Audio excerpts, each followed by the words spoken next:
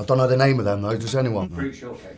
Fruit I'm sorry, shortcake, what? Is it? Yeah. Fruit shortcake, yeah. Fruit shortcake. Do you want to do that again? I'll pretend I, I knew that. Yeah, sure. Here we go. Let's do that. Take two. Okay, what should we do next? The fruit shortcake. Oh, That's wonderful. Okay, so everybody, guess what? On the back of these biscuits, there's a question about our movie Ferrari. So let's uh, let's find out what the biscuits want to know. Oh, this looks familiar. What's this? That's a Garibaldi. Garibaldi. Yeah. Well, that's quite exciting. Okay, explain the plot of Ferrari without using the word Ferrari. It's about a man in crisis. Uh, it's about a man who's trying to keep his business afloat with a lot of uh, personal turmoil along the way. And No spoilers, please. Okay. You should definitely see it.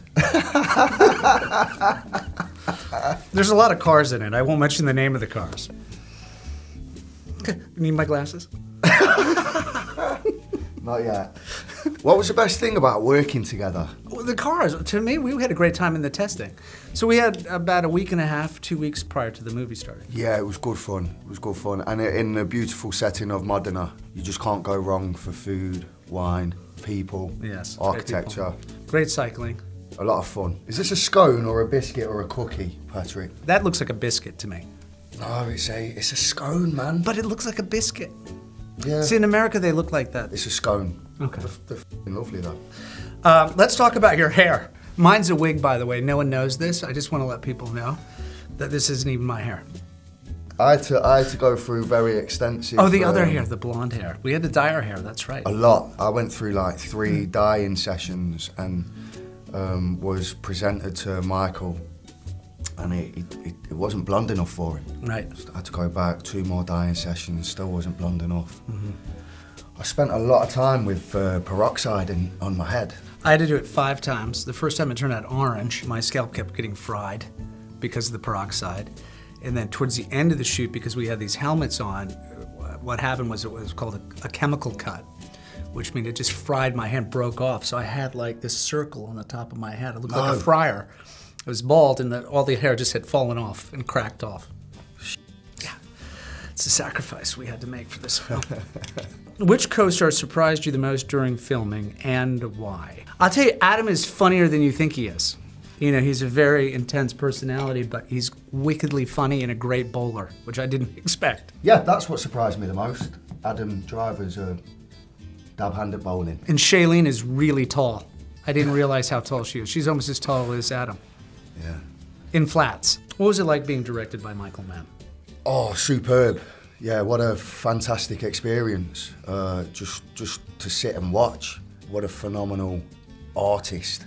he, he was amazingly calm in the center of all this chaos with the, the clock ticking. He's like, no, I need to focus on this. And he would just sit there and focus.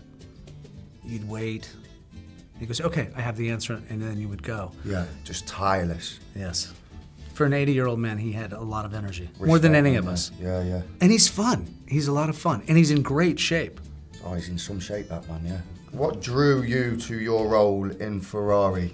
For me, it was the story. I love this era in motorsport. I read the script many years ago and had been stalking Michael for years. And then finally, I called as soon as I heard it was going. I'm like, please, can I be a part of the movie in any capacity? And I'm glad I did. It's been the greatest experience I've ever had making a movie. Custard cream. Are you familiar with the custard cream? I am not. You are now. Thank The- you. These are I'm learning a great deal today. a staple. Any grandma in the country would have a cupboard fully stocked. Do you want to hold it? I'd like to, yes. Oh, yes, I can So it's a nice grandmother. weight, you know. Custard cream. Describe a typical day on the set of Ferrari. We sat around a lot and waited.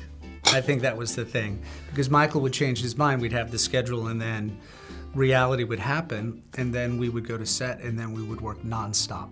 That in itself was actually quite enjoyable. Yeah. Got a lot of reading done. A lot of reading done. I, I took my guitar.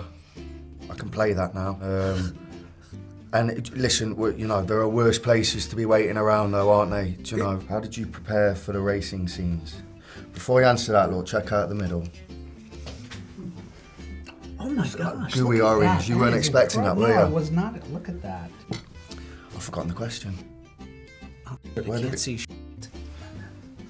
Oh yeah, how'd you prepare for the driving scenes? We, we got there early, didn't we? And, and just hit up the, the track. We had two weeks of uh, testing uh, in and around Modena.